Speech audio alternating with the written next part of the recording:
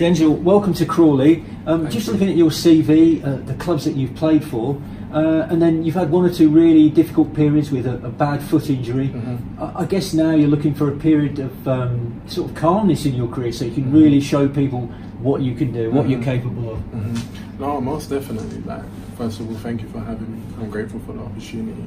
And yeah, like you said, like my career thus far has been like really rocky.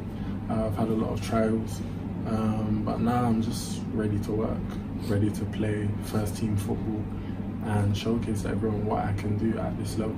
And you're quite happy. I mean, it's, you know, compared to some of the players that you've played with in your career, to come down to League 2 Mm-hmm. I mean, that's quite a big decision to make for you. I feel as though it's the best one at this moment in time. I feel as though, um, you know, I've been signed to these clubs, but I've never played for any of these clubs. So, all in all, it doesn't really mean much. It just means that I've had, you know, maybe good facilities or good training or good this or good that. But, you know, I want to play. Your career is based off of playing what you do on Saturdays, what you do on Tuesdays, what you do on Wednesdays, what you do on Sundays. And, you know, coming here to League Two and signing for Crawley is going to give me the opportunity to showcase what I can do on match days.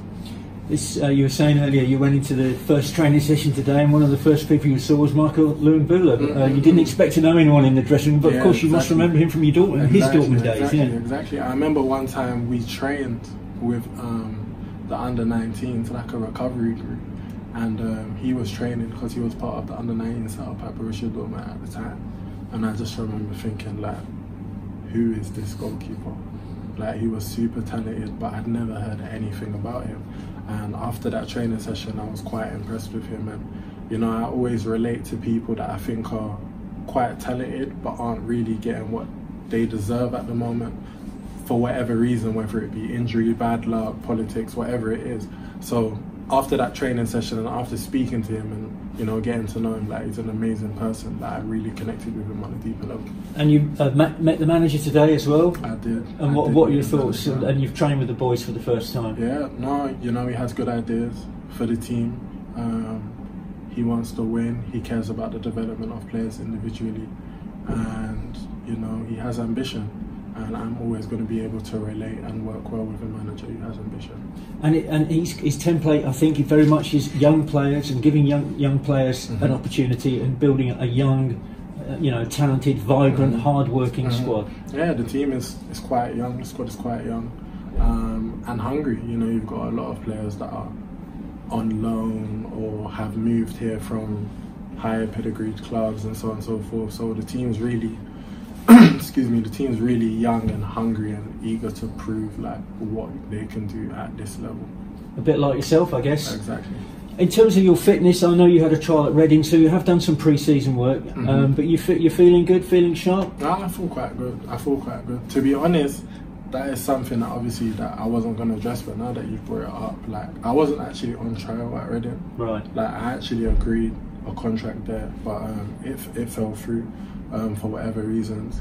But um, no, I had three weeks there, you know, getting my fitness levels up, and then um, obviously when that contract fell through, when that move didn't materialize, I then had to work on my own in the gym and whatnot. But um, the people closest to me will tell you, like, if I haven't been training at a club, then I've been in the gym every day because I'm a big believer in working for what you want. Obviously, I'm quite spiritual. I pray every morning, every night, but I'm somebody who actively wants to work towards achieving what it is that I want to achieve. So, you know, I've been working. And when you're at your best, what can the Crawley fans expect from you? Wins. And, and Wins. in terms of your own ability, what what are your strengths? do You think? I feel as though I'm quite a powerful player. Um, I have the ability to drive with the ball very well. Um, I'm quite good with combination plays. Um, I'm quite skillful in a sense where I might be able to display something that they might not see too often. Um, because growing up, my favourite player was Ronaldinho, and it was just because of those wow moments Yeah. that you just don't see often. Those moments that take your breath away, or you know, you leave the game thinking like, how did he do this? So I would like to try and replicate some of those moments to the Crawley supporters. And when you get a run of games under your belt, you, you you're going to be feel, I guess, because of the stop-start nature perhaps in your career so far, that you've settled and and, and, and, and get better and better. Exactly. No, that's what I want to do. Stay as fit as possible. Stay as healthy as possible. and um, like you said, get a run of games under my belt. Hopefully, from when I begin to play until the end of the season, and hopefully achieve some great things with the club this season.